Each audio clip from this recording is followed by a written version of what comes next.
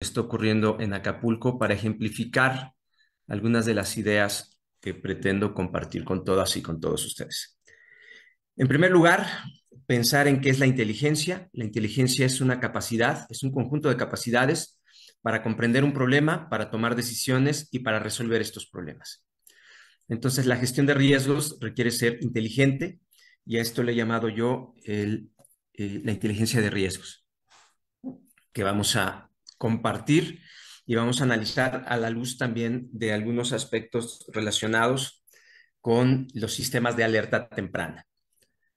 En primer lugar, hay que decir que el riesgo es un futuro, es algo que está en tu mente, es algo que no ha ocurrido, es un futuro negativo y vamos a ver este tema de lo creíble.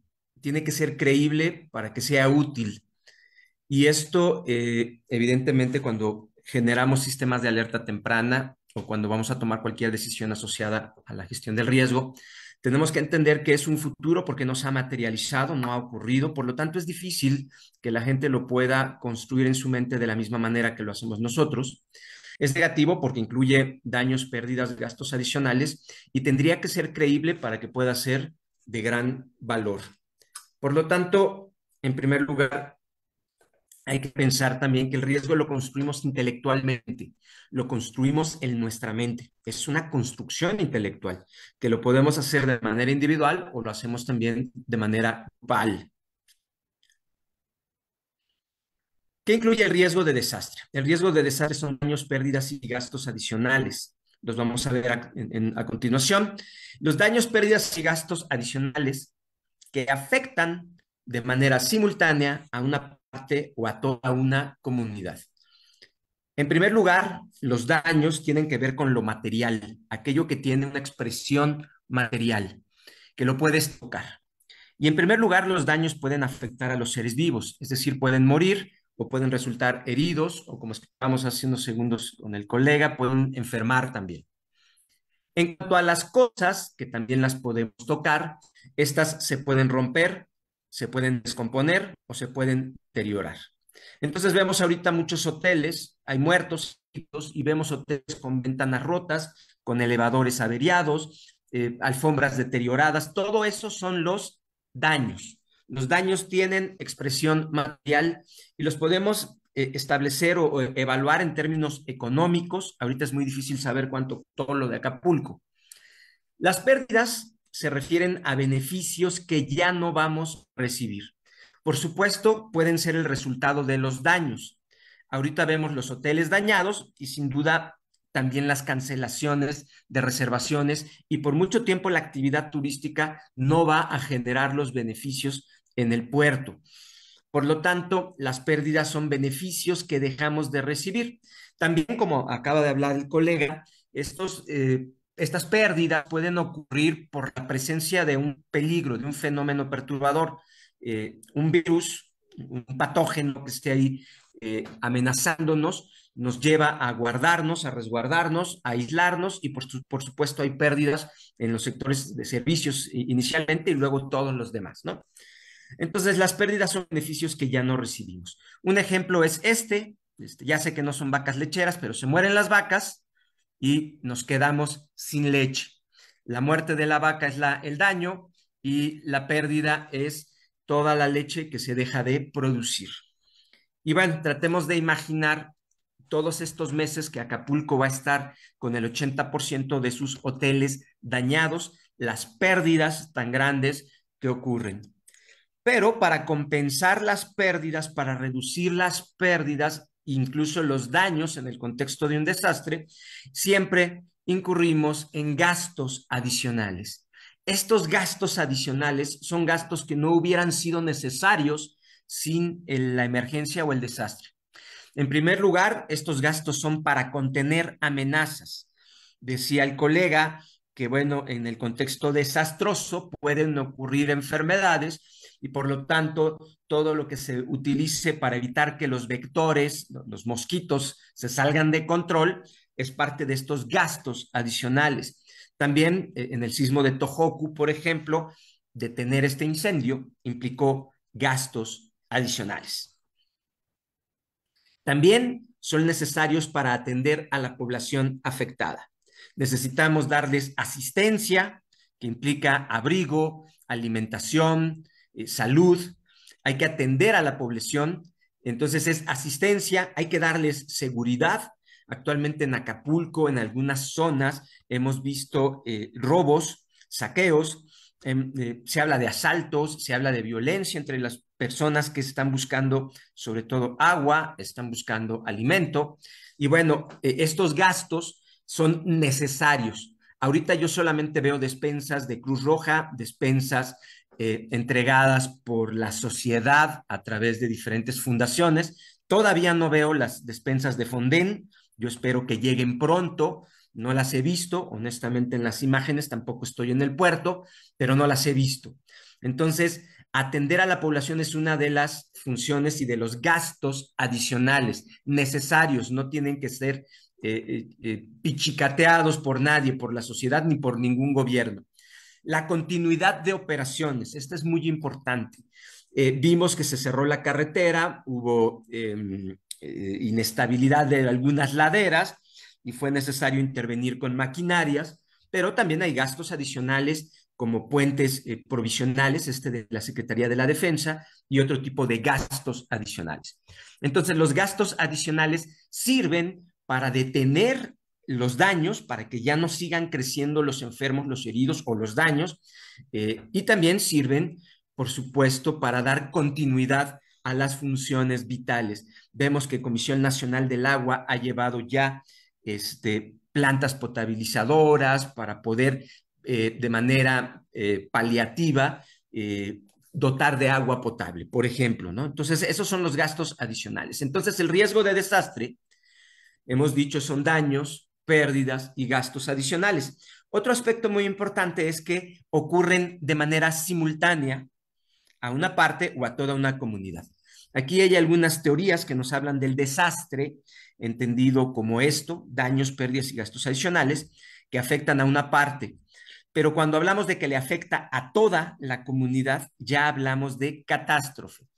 Esto la escuela de Delaware lo ha planteado en su momento eh, establecer esta categoría. Entonces podríamos decir que Acapulco y esta región está viviendo una catástrofe porque prácticamente todas las personas de manera simultánea se han visto afectadas. Ahora, cuando construimos riesgo, usamos modelos. El modelo es una representación de la realidad. Cuando viene un niño y trae un dibujo que parece una araña y mira, eres tu papá, eh, es, es, una forma en la que el niño representa realidad. Y los seres humanos representamos la realidad con modelos a escala, con modelos teóricos, que son conceptos relacionados por esquemas, pero también eh, modelamos la realidad a través de ecuaciones matemáticas y todo esto. ¿no? Entonces, modelar la realidad es como establecer un rompecabezas. Es un rompecabezas que trata de tomar las piezas principales de la realidad eh, para colocarlas de manera mejor, lo más ordenada posible, y hay que seleccionar las piezas más relevantes y no hay que olvidar una cosa, nuestro modelo puede carecer de piezas, ahí vemos que faltan algunas piezas. Nuestro modelo de la realidad a veces le faltan piezas. Y ahorita vamos a hablar de algunas piezas que faltaron en este proceso desastroso. Y siempre, siempre es muy importante mantenernos muy conectados a la realidad. Es decir, tu modelo es un dibujo, es un mapa, pero no es la realidad. Por lo tanto, siempre hay que estar con un ojo al gato y el otro al grabato, mirando ambos lados. Ahora, nuestro modelo de riesgo tiene diferentes eh, factores causales. ¿Qué causa el riesgo de desastre? En primer lugar, el peligro. El peligro es la capacidad destructiva que tiene la naturaleza y la actividad humana. El peligro eh, tiene un área, se expresa en una zona. ¿Y cómo se expresa? Por medio de la intensidad. ¿Qué tan fuerte es ese peligro? ¿Qué tan fuerte sopla el viento? ¿Qué tan acelerado está el suelo en un terremoto, por ejemplo? Eh, todo eso es la forma en la que medimos la intensidad y la frecuencia. Cada cuánto tiempo se repite un fenómeno como estos en un cierto lugar. Por lo tanto, pensemos en los peligros de un huracán, en este caso Otis, ¿no? Cualquier huracán. El primer peligro es el viento que produce eh, este giro, este vórtice. El viento sopla sobre el mar y provoca marea que daña la costa. También provoca mucha lluvia que a su vez deriva en inundaciones e incluso en inestabilidad de laderas. Por lo tanto, un solo fenómeno puede tener hasta cinco peligros diferentes que van a impactar en áreas distintas, con intensidad distinta y con frecuencia, esta es eh, una parte interesante, distinta. Un mismo huracán o, un mismo fenómeno denominado huracán a veces puede traer mucho viento y poca lluvia, o al revés, puede traer mucha lluvia y poco viento. Todo depende de la forma en la que eh, se mueva el huracán, por un lado, la trayectoria que tome, pero también de su intensidad. Mientras más categoría tiene, mayores son sus vientos. Y a veces sus bandas nubosas pueden descargar. Aquí vemos la historia de Otis, pensando en el primer aspecto, el área. Área. Cada peligro tiene un área. Otis, desde un principio, el pronóstico marcaba la misma trayectoria, es decir, si se dan cuenta, iba a pegar siempre en la misma zona. Desde el 22 sabíamos que iba a pegar ahí una tormenta tropical. Bueno, no, acá, es decir, el 22 a, a, las 21 horas ya sabíamos que iba a pegar una tormenta tropical y posteriormente fue cambiando. Hasta aquí parecía una tormenta tropical y después cambió el pronóstico a un huracán y luego a huracán 3 y luego se planteó la posibilidad de un 5. Esto son datos del doctor Jorge Zavala del Instituto de Ciencias de la Atmósfera y Cambio Climático de la UNAM, una conferencia que justamente acaba de terminar hace unos minutos. Ahora, la intensidad es, se puede medir en diferentes formas. Este es el área, esto nos muestra el área. El área la supimos desde el día 22, en donde iba a pegar algo. La intensidad es qué tan fuerte se está manifestando. En el caso de una inundación, la intensidad la medimos por la altura, la velocidad de flujo o el tiempo que permanece. En el caso de un huracán, la intensidad, como tiene diferentes peligros, se mide de manera distinta, pero la forma en la que hacemos categorías está particularmente centrada en la velocidad de los vientos. La velocidad de los vientos sostenidos en un minuto, eh, eso es más o menos la forma en la que podemos expresar la intensidad de un huracán, de su peligro por viento. Entonces veamos, en primer lugar, el día 23 a las 3 horas se hablaba de una tormenta tropical. El 23 a las 9 se hablaba de eh, tormenta tropical. Ya teníamos aquí claramente que iba a impactar una tormenta tropical en la región de Acapulco. Acá seguimos eh, a las 15 horas, tormenta tropical. Algo muy importante es mencionar que el día 23 a las 21 horas seguíamos eh, con este mismo enfoque. Luego, el día 24 a las 3 de la mañana, ya se hablaba de que se estaba eh, intensificando y que se esperaba que fuera un huracán. Por lo tanto, el 24 a las 3 de la mañana, 22 horas antes del impacto, ya se sabía que en esa zona iba a impactar no una tormenta tropical, sino un huracán. El 24 a las 9 de la mañana se seguía pensando que era un huracán. Posteriormente mandaron el cazahuracanes, que, es un avión que mide eh, algunas variables.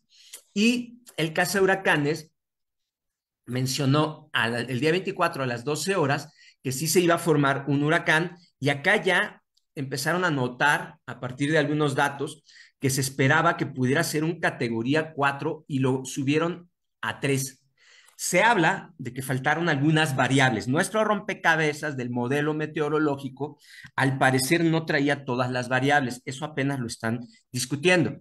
Sin embargo, si nosotros nos ponemos a pensar que a las 15 horas, es decir, casi nueve horas antes de que impactara el huracán, ya sabíamos que era un, huracán intenso. La trayectoria, el área seguía siendo la misma, pero la intensidad es la que había cambiado de las 12 del día, que ya sabíamos que era un categoría 1, a un categoría 3 a las 15 horas, que ya se planteaba el crecimiento a 4. Ya un categoría 4 estamos hablando de un huracán sumamente peligroso, denominado huracán mayor. Posteriormente, se, con los datos ya del caza huracanes, por supuesto, se pudo verificar que esto era algo más intenso, eh, a las 18 horas era un categoría 4, un monstruo, 6 de la tarde, 7, 8, 9, 10, 11, 12, que fue más o menos el impacto ya fuerte de, las, de los vientos. Estamos hablando de 6 horas antes del impacto. Es decir, dos días antes sabíamos dónde era el área y al menos seis horas antes sabíamos que iba a ser un categoría 5. Y por supuesto, desde las 15 horas ya sabíamos nosotros que era mayor. ¿Qué quiero yo decir con esto? Que efectivamente faltaron piezas para pronosticarlo tal vez desde antes. Sin embargo, sí hubo bastantes horas antes, ¿no? Este, a las 21 horas, bueno, ya se intensificó y se espera que sea categoría 5, eh, Otis categoría 5 a las, eh, a las 12, y bueno, ya después vienen todo lo, lo, lo, siguiente, el impacto y lo que ya conocemos, ¿no? Ok, entonces dijimos que el peligro es esta capacidad destructiva. ¿Qué otra cosa hay en el riesgo de desastre? Tenemos la exposición. La exposición son personas y cosas que están en el área y que tienen un valor para nosotros. Puede ser valor económico, puede ser valor estratégico. Ahorita se están recuperando los sistemas estratégicos que tienen más valor para que se regrese a la normalidad. Efectivamente, la electricidad es una pieza sistémica. Las telecomunicaciones son un sistema, son parte de un sistema que afectan a toda la sociedad y vendrá el agua potable y, otros servicios que son sumamente valiosos. Por lo tanto, el valor estratégico de los bienes es sumamente importante, además del valor económico, y hay otro valor muy importante, que es el valor afectivo. La gente pierde sus cosas, pierde lo que, lo que le costó mucho trabajo comprar y, y toda una vida. Por lo tanto, hay cosas que tienen un valor incluso afectivo. Un ejemplo, este es un modelo de Tabasco, de la presa Peñitas. ¿Qué es la exposición? Pues todo lo que está allá adentro vemos que el mapa tiene distintos colores, perdón. Este, tiene distintos colores y eso son la intensidad. La intensidad es qué tan fuerte se siente el peligro, qué tan fuerte se manifiesta la capacidad destructiva. Entonces tenemos exposición. ¿Qué hay allá adentro? Pues hay muchas cosas.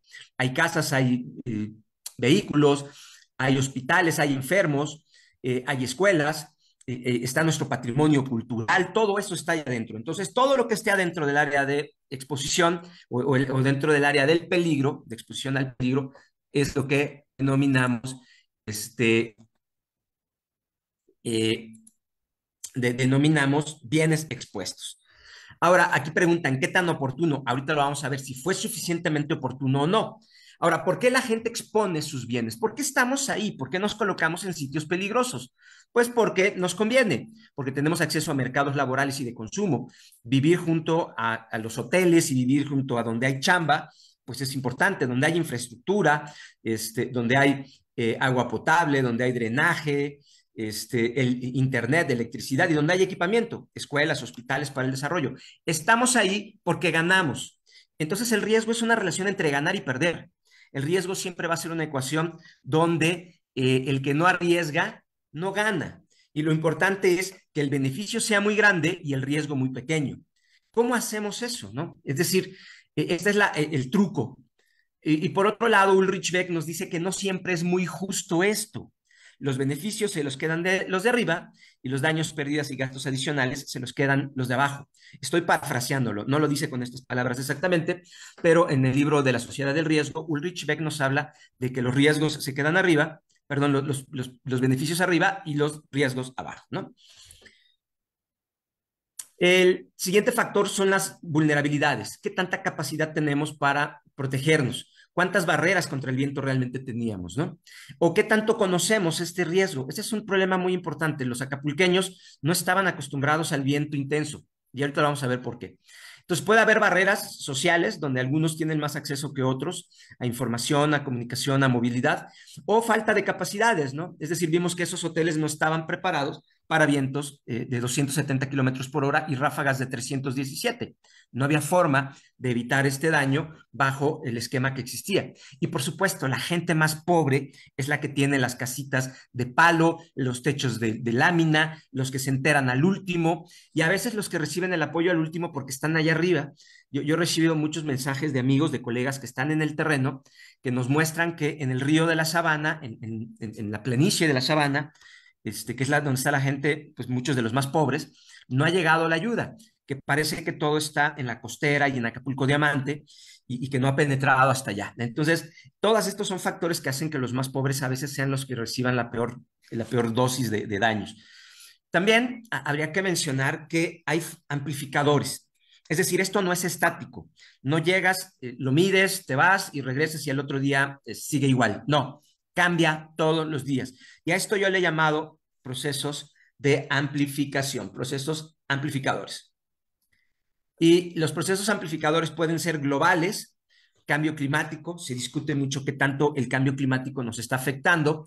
Lo que sí podemos decir es que, bueno, eh, hay modelos que nos dicen que los huracanes van a ser más intensos, lo estamos viendo, más frecuentes, e, eso sí no sé si haya cambiado la frecuencia, pero eh, también que van a llegar más al norte, es decir, que su área de afectación podría afectar sitios más al norte, y, por ahí vimos uno que, un, ciclón tropical que impactó en Nueva York alguna vez, y hace unos días estábamos con que le iba a llegar uno a Tijuana, entonces eh, son parte de estas variables que podemos considerar. También hay efectos locales, eh, la deforestación, el cambio de uso de suelo, que se construyan muchas viviendas, que se deforesten los manglares, que son un protector contra el viento, todo esto tiene efectos. Y efectos muy puntuales como la basura que, genera inundaciones y otros aspectos sumamente puntuales, muy cercanitos a nosotros, ¿no? Entonces están los amplificadores globales y los muy, muy locales. Por lo tanto, ¿qué también logramos o qué también lograron las autoridades y la población de Acapulco construir un buen modelo del riesgo. ¿Qué tanto representaba ese modelo? Pues ya vimos el área, pues sí, estaba bien representada a tiempo, la intensidad, eh, eh, pues se tuvieron horas, horas, pocas horas para poder eh, responder. Y la pregunta es si somos o no capaces de responder a esa velocidad. Y yo lo he dicho, no, no, no vas a hacer en nueve horas lo que no has hecho en 26 años de gestión de riesgos. No lo haces en nueve horas, ¿no? A, mí mismo me, tocó. Pero bueno, regresemos.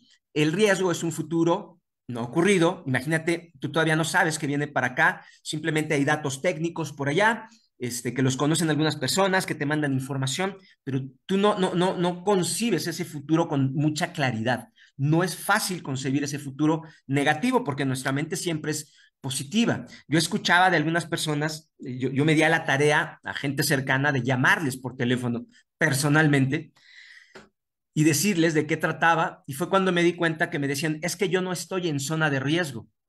Y yo dije, bueno, todo Acapulco es zona de riesgo, cada metro cuadrado es zona de riesgo, ¿cómo me dices que no estás en zona de riesgo? Y la respuesta es, es que yo no me inundo y es que yo no estoy en zona de deslaves.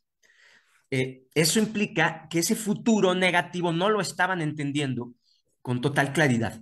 No veían y lo que habían construido intelectualmente era un futuro distinto, un futuro que ellos conocían. Ahora, ¿cómo construyes riesgo? ¿Qué ingredientes y qué calidad de tus ingredientes usas? A todos nos pasa. Y ahorita vamos a ver por qué. Puedes usar ciencia y tecnología, puedes usar tu experiencia o puedes usar tus creencias. En primer lugar, la ciencia y la tecnología es una eh, herramienta muy útil. Satélites, cálculos, análisis de riesgo, esos son muy útiles. Sin embargo, la ciencia no lo sabe todo y nosotros no lo sabemos todo tampoco. Yo no sé todas las ciencias. Por lo tanto, hay momentos en los que estoy a ciegas. Y así como yo estoy a ciegas a veces en cierto tipo de riesgos, otras personas pueden estar igual en riesgo. No saben de huracanes, ciclones tropicales, categorías, vientos succión, líneas de flujo, este, vórtices que se forman, nada de eso lo saben estas personas. Y entonces de repente vemos que hay personas que reaccionan al riesgo con muy poco conocimiento técnico y científico. Y nos puede ocurrir a todos, ¿eh? incluyendo a los gestores de riesgos. Por lo tanto, eh, el riesgo de desastre es complejo, requiere el conocimiento de muchas áreas, muchos saberes, y la gente no puede tener un millón de meteorólogos en Acapulco. Eh, no, no, lo saben todo ellos. Y la ciencia no lo sabe todo. Acabamos de ver que el modelo de, meteorológico le faltaban algunas piezas. Pudo haber sido más oportuno, pero, pero no fue así. Entonces, y, nos dio nueve horas, eh, doce horas para saber que algo iba a impactar, este, pero no fue del todo claro, ¿no? Entonces la ciencia no lo sabe todo y nosotros no conocemos las ciencias, por lo tanto lo mejor que podemos hacer es actuar con mucha humildad frente al riesgo. Es decir, preguntarle a los otros, a quienes puedan saber. En cuanto a la experiencia, la experiencia, el problema que tiene es que representa lo que tú ya viviste, un solo caso, un lugar, eh, y, voy a poner un ejemplo. Los acapulqueños conocían los huracanes, por supuesto. Paulina, 1997, vean la imagen del lado izquierdo, mucha lluvia, inestabilidad de laderas, eh, inundaciones en el río de la Sabana. A la derecha, Manuel, Manuel 2013. Lo mismo, mucha lluvia. Entonces, los huracanes que ellos conocían eran huracanes con menos velocidad de viento, pero con mucha lluvia. Huracanes más lentos que se trasladan lentamente y que como impactan por mucho tiempo, sueltan y sueltan y sueltan agua, inundan y desestabilizan las laderas los acapulqueños nunca habían vivido un categoría 5. Por eso mis amigos me decían, yo no estoy en zona de riesgo. Y, no entendían eh, porque su experiencia no les daba para conocer un categoría 5. Pregúntale a un cuate, un compa de, Quintana Roo, y, y, vas a ver si no saben cómo se protegen frente al viento, porque a ellos les tocan con más frecuencia los huracanes categoría 5. Entonces, la frecuencia es un tema muy importante porque la frecuencia es la que te da la experiencia. Si nunca lo has vivido, si nunca ha ocurrido, entonces los peligros, recuerden, tienen un área, tienen una intensidad y una frecuencia. Por lo tanto, un verdadero gestor de riesgos, lo que no vimos en el director de protección civil de Acapulco, por ejemplo, este, que lograra interpretar esto, porque tal vez esas mismas autoridades, por eso tengo que decirles que hay que tener cuidado, e, estas mismas autoridades, a lo mejor en su representación del riesgo, e, ese dibujo que habían hecho en su mente del riesgo, solamente veían mucha lluvia y tal vez no percibían, eran capaces de percibir el viento. Por lo tanto, un verdadero sistema de alerta tiene que considerar eso y tienes que tener siempre claro que tienes que saber lo que sabes, qué es lo que en verdad sabemos y también tienes que saber lo que no sabes. La inteligencia de riesgos es eso. Hay que saber lo que sabemos, hay que saber lo que no sabemos y hay que preguntarnos si la gente que está alrededor de nosotros, a quienes tenemos que proteger, saben lo suficiente, qué es lo que no saben y cerrar esta, esta brecha, reducir esa incertidumbre es parte del trabajo para poder tomar buenas decisiones al momento de reducir daños y pérdidas. Acapulco pensó por años que nunca recibiría un categoría 5. Finalmente, cuando tenemos huecos, cuando no podemos eh, interpretar, no tenemos ciencia y no tenemos experiencia, nos basamos en nuestras creencias. Y nuestras creencias pueden ser muy eh, alejadas de la realidad. ¿Cuántas personas murieron en la pandemia porque no se protegieron o porque no se vacunaron eh, o porque simplemente no creían en el riesgo? Entonces, las creencias pueden ser positivas o negativas. Y, todos usamos las creencias. Miren, yo cuando voy al doctor, mi papá es médico, yo no sé de ciencias médicas. Me pide estudios, los interpretan, me dan medicinas, tratamientos, y, y yo confío. Entonces, tus creencias te hacen confiarte, tus creencias te hacen confiar. Entonces, cuando el gestor de riesgos no es capaz de interpretar rápidamente qué es lo que no sabe la gente y que necesitaría saber para protegerse bien, entonces la gente usa sus creencias y la creencia es a mí no me va a pasar y todo va a estar bien, yo confío y bajo la guardia.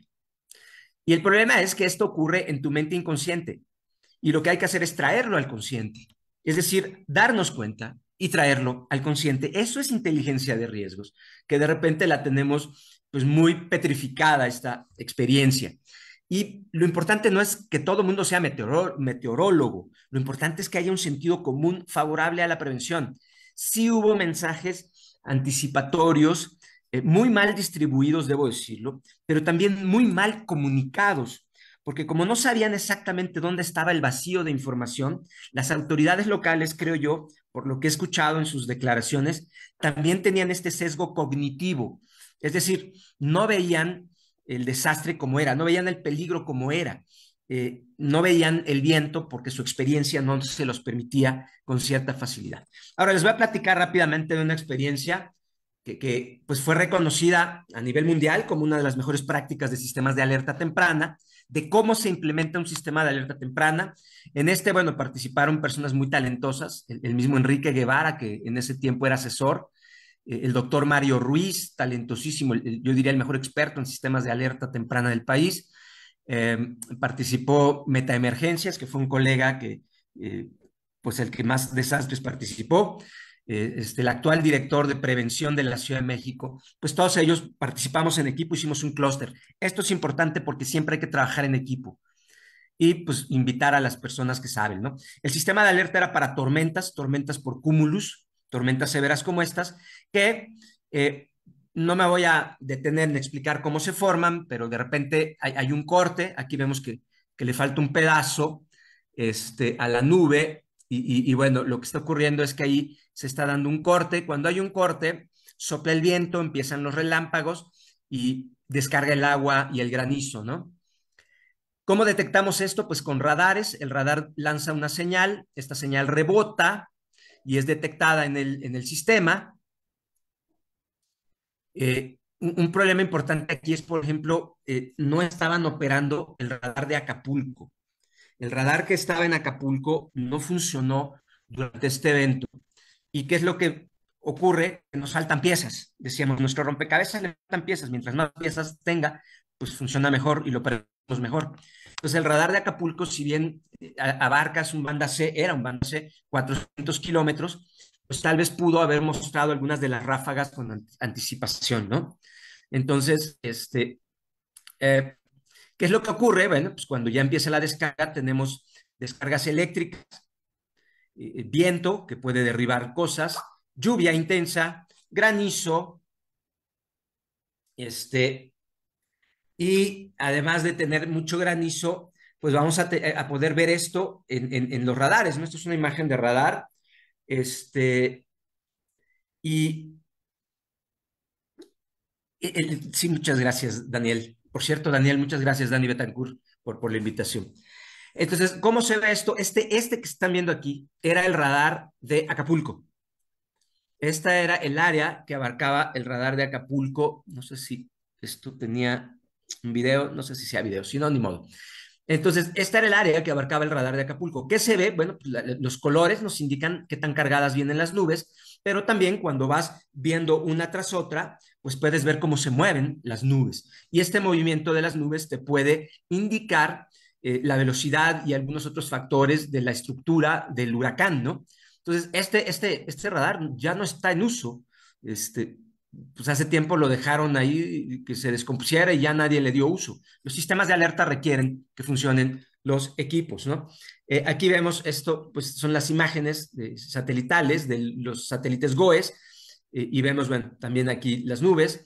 También puedes ver, utilizar este, sistemas de, eh, sistemas de detección de relámpagos. Aquí los colores blancos nos indican que acaba de suceder este relámpago y los oscuros nos indican que tienen una hora. Entonces aquí podemos ver a qué velocidad se están moviendo las tormentas, ¿no? Todos estos instrumentos se utilizaron para monitorear Iztapalapa. Esto es eh, Iztapalapa, más o menos esta zona es Iztapalapa. Como verán, es la península de Iztapalapa, una parte del lago de Xochimilco, una parte de lo que era el lago de Chalco y, por supuesto, el lago de Texcoco, ¿no? Eh, en Iztapalapa mm, ya no está este lago, por supuesto, ¿Por qué? Pues porque hay tubos, el drenaje profundo no permite que se inunde, casi todo el tiempo funciona perfectamente el drenaje profundo, pero cuando hay una tormenta severa, lo que ocurre es que se llena el tubo y casualmente la, eh, el drenaje de la ciudad, déjenme ver si puedo hacer esto, eh, va de sur a norte, ¿no? Entonces, el drenaje hace esto. ¿Qué quiere decir eso? Que cuando de repente viene una tormenta, y esa tormenta viene de norte a sur. Este, cuando llega a Iztapalapa, el tubo ya está lleno. Así, así es de, sencillo lo podemos decir, ¿no? Entonces, eh, ay Dios, ¿qué hice? Ahora déjenme ver cómo quito esto. Ya me la cambiaron aquí la, ah, ya vi cómo, este, este, este y este, ya. Entonces, bueno, el, punto es que eh, cuando llueve de norte a sur y, y, llueve intenso, el drenaje viene lleno y a Iztapalapa se inunda, ¿no? Eh, y no se inunda todo, sino en, algunas zonas. Ahora, ¿qué es un sistema de alerta temprana? Tiene cuatro componentes. Conocimiento del riesgo, ahorita hicimos un análisis muy profundo de qué es conocer el riesgo.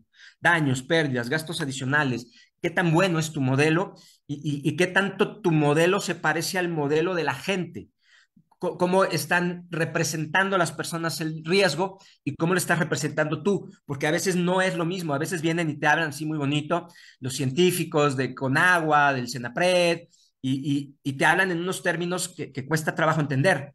Y, bueno, el Senapred ha hecho un gran esfuerzo en comunicación, pero ¿qué ocurre? Que a veces no hablamos y, no tenemos el mismo riesgo, no conocemos el mismo riesgo. Tiene que haber un servicio de seguimiento y alerta. Aquí ya vimos que en Acapulco no estaba funcionando el, radar meteorológico de Acapulco. ¿Por qué? Pues habrá que preguntarlo. Hay que difundir la, información. Un amigo me decía, es que escuché a la presidenta municipal de Acapulco y ella, este, pues no hablaba del viento, no hablaba de vidrios, no hablaba de que nos íbamos a quedar sin luz y de todo lo que nos iba a ocurrir eh, ni, dio recomendaciones claras.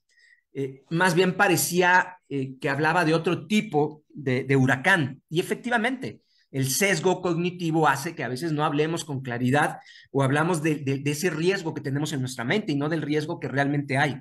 Entonces, y no tiene la, alcaldesa no tiene por qué saberlo. Es decir, tiene al de protección civil, que en teoría debería ser un experto. ya sabemos, ¿no? Lo que ocurre en el país a veces colocan gente que no tiene la capacidad. Y por eso es muy importante. O sea, si, un experto real se hubiera dado cuenta de que, de que no era lo mismo lo que venía que lo que estaban comunicando. Y la gente, por supuesto, no lo entendió. Y después tiene que haber una capacidad de respuesta. Eh, esa capacidad de respuesta no fue tan conocida, tan es así que a muchas personas las dejaron en su cuarto de hotel. Este, ¿Por qué? Porque no era claro el riesgo. Entonces, si partes del punto uno mal, si no tienes un análisis de representaciones sociales del riesgo, si no trabajas eh, claramente con tu modelo y no te preguntas a ti mismo, sé lo suficiente, me faltan variables, lo que ocurrió con el servicio, eh, el, centro de Canes de Miami, ¿no? Que de repente cuando llegan los, los, aviones eh, se dan cuenta de que, de, que, de que, eran categoría 3, ¿no? Y en ese momento elevan y se dan cuenta de que estaban, les faltaba piezas, ¿no? En la mirada. Ahora, si tú no tienes esto listo, si no lo has trabajado eh, durante 26 años, desde que impactó Paulina, no lo vas a hacer en 6 horas, no lo vas a hacer en 12 horas. Ese es el grave problema.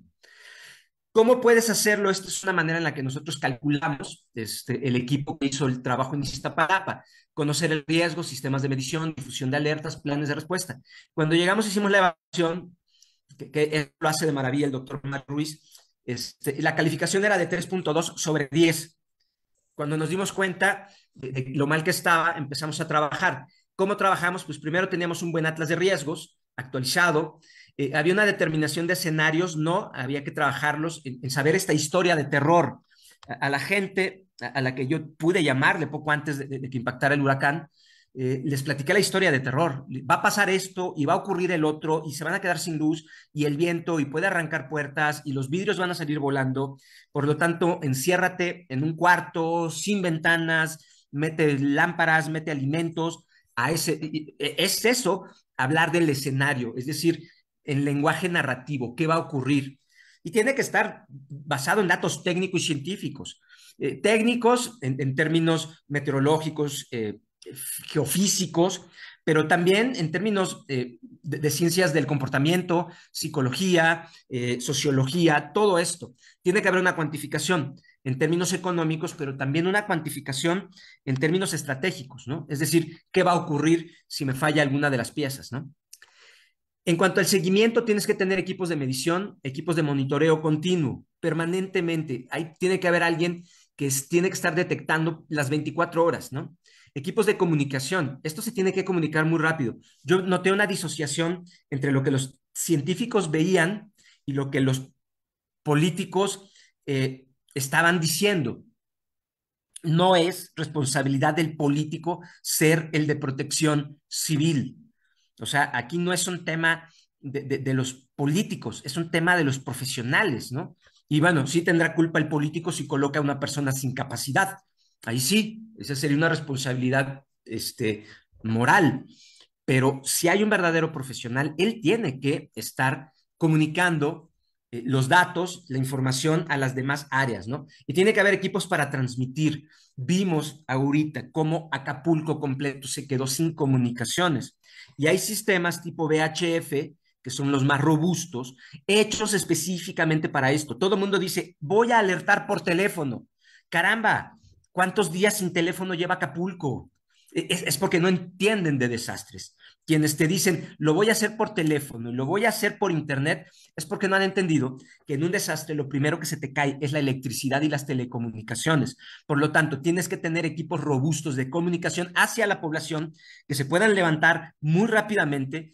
Eh, las células de telefonía celular te abarcan un área muy pequeñita y es muy difícil levantarlas. Se tardan, las empresas son buenas, lo hacen rápido pa, pa, para, para las condiciones, pero no es lo mismo levantar una antena que, que abarca eh, muchos kilómetros y vas a comunicarle a mucha gente en condiciones de riesgo y de desastre que este, tratar de esperar a que funcione toda la telefonía celular para que, para que te puedas comunicar.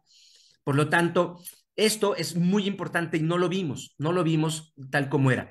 Bueno, este es el radar del Cerro de la Catedral del gobierno federal. Eh, esta es la base Tornado, las 24 horas del día funcionaba. Este es don Raúl Rivera Palacios. Él, fue uno de los mejores pronosticadores de la, cuando en, la Dirección General de Protección Civil, y, y aquí era el, jefe de, alerta y pronóstico de Conagua hace algunos años. Entonces, una persona talentosísima.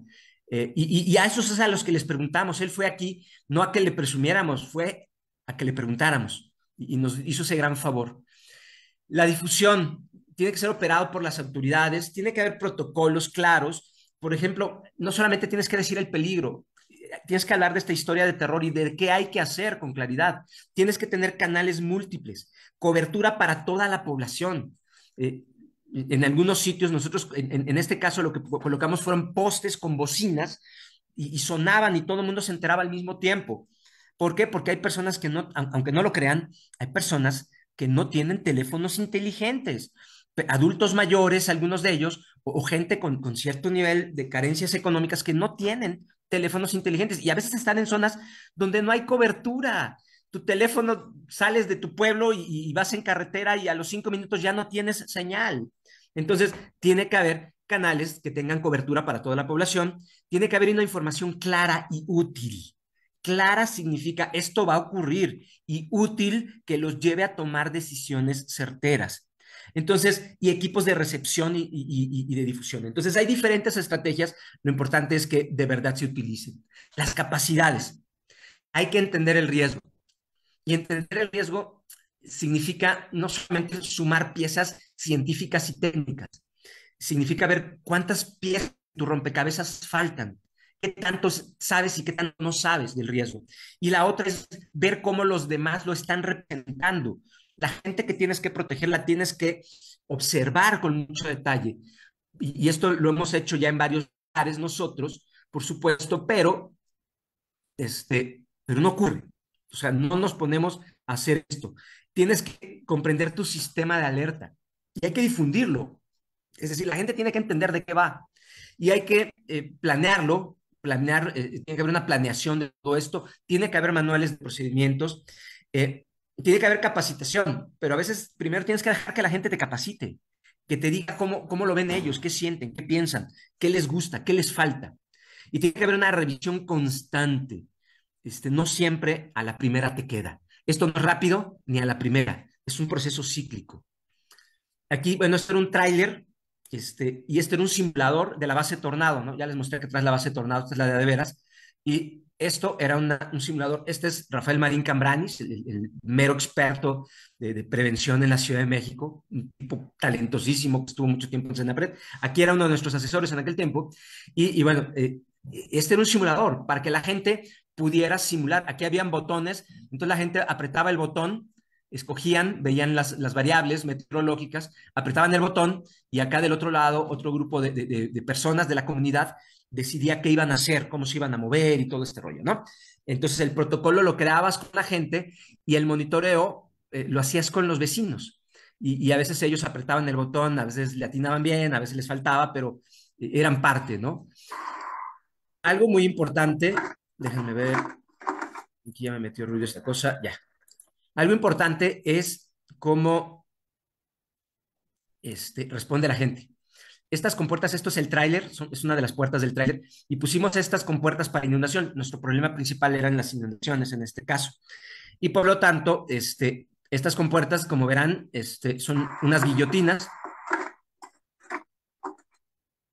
muy fáciles de instalar, pero no me dieron presupuesto para poder dárselas. Y lo que hicimos fue, le dijimos, este, señora, tráigase a su viejo, o, tráigase al herrero o al, de ventanas, ¿no? Al, luminero para que vea esto y vea cómo se hace. Y, muchas personas, eh, por, propia mano, hicieron sus propias compuertas, ¿no? Entonces es eh, acercarte a la gente y darles ideas de cómo resolverlo.